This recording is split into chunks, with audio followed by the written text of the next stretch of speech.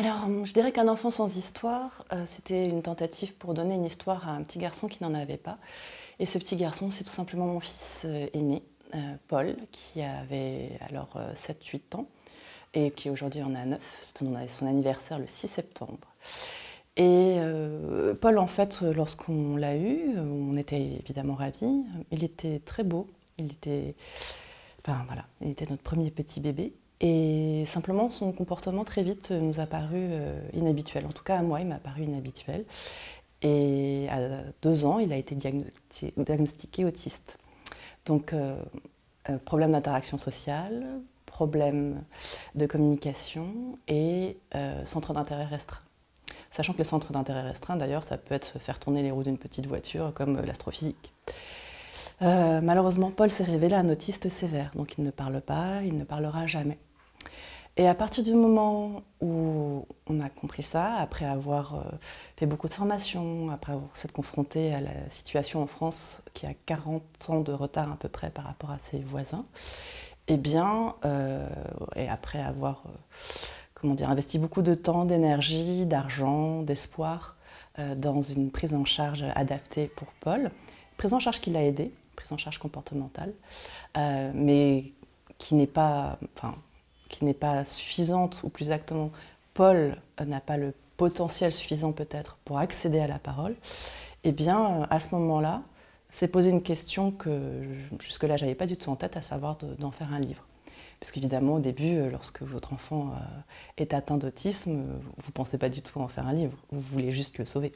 Et à partir du moment où on a compris qu'on ne pourrait pas le sauver, eh bien, je me suis dit, ben, au moins je vais essayer d'en faire quelque chose et de, mettre, euh, de donner une forme en fait à, cette épreuve et au chagrin que mon mari et moi avons euh, conçu. Et donc le livre est né de ça. Et parce qu'en fait, comme tous les écrivains, euh, je pense que ce qui m'intéresse, c'est de raconter ce qui n'est pas racontable ou de ce qui n'est pas raconté. dire ce qui n'a pas été dit, ce qui n'a pas été transmis, ce qui reste finalement sous le tapis et auquel on n'arrive pas vraiment à donner ni un nom, ni une expression. Or, euh, des enfants comme Paul, il y en a 350 000 en France. Euh, et il y a 700 000 autistes en France. Et la France a été condamnée cinq fois par le Conseil de l'Europe pour discrimination vis-à-vis des autistes. On a du retard sur tous les plans. On n'a pas assez de structures d'accueil. Euh, les gens ne sont pas formés. Donc aussi bien d'ailleurs le personnel médical que les enseignants, alors que parfois les enseignants ont des autistes dans leur classe. et du coup, je me suis dit que pour raconter Paul, il y avait une grande difficulté qui était comment est-ce qu'on raconte un enfant qui ne parle pas, euh, dont on ne sait pas comment il pense, dont on ne sait pas d'ailleurs s'il pense, en tout cas s'il pense avec des mots, euh, et comment raconter aussi un personnage qui n'évolue pas. Alors que le principe même de toutes les histoires, qu'elles soient racontées à l'écrit ou à l'écran, c'est qu'il y a un personnage qui part d'un point A jusqu'à un point Z, qui subit des épreuves, qui les surmonte ou qui les surmonte pas bien, euh, qui devient un héros un bon ou mauvais, mais il devient un héros. Et c'est ça, c'est la transformation de ce personnage qui souvent est le fil euh, bah, de toutes les histoires euh, depuis les épopées d'Homère. Euh, dans le cas de Paul, évidemment, cette question-là, elle, est, elle est, comment dire, difficile à affronter. Et je me suis dit que le meilleur moyen peut-être de raconter Paul, c'était de raconter évidemment ce qu'on avait vécu avec lui, de le raconter, voilà, la vie à ses côtés, la vie avec lui, avec toutes les épreuves que ça implique administrative, financière, euh, physique, puisque Paul, par exemple, ne dort pas. Donc il dort très très peu.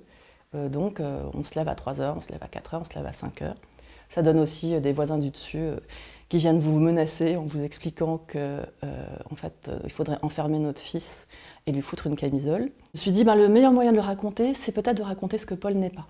Donc j'ai pris quelqu'un d'autre, une personne réelle, qui elle est une autiste géniale qui elle s'appelle Temple Grandin et qui est elle la success story. Paul c'est la real story. Euh, et tandis que euh, Temple, elle est partie du même point, donc une enfant colérique, faisant des crises, barbouillant ses murs d'excréments, euh, que personne ne comprenait, qui a accédé extrêmement tard à la parole, mais qui y a accédé. Et qui, grâce à une prise en charge, grâce à sa mère, à l'obstination de sa mère, et une prise en charge qui en fait est celle qu'on a adoptée pour Paul, mais avant qu'elle soit scientifiquement recommandée.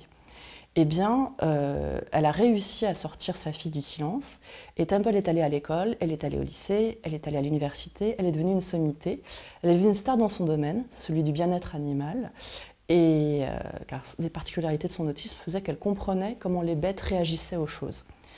Et littéralement, elle est devenue une héroïne de film, au point qu'on lui a consacré un biopic qui a remporté 7 Emmy Awards et qui a valu à Claire Danes, qui jouait son rôle, euh, un Golden Globe.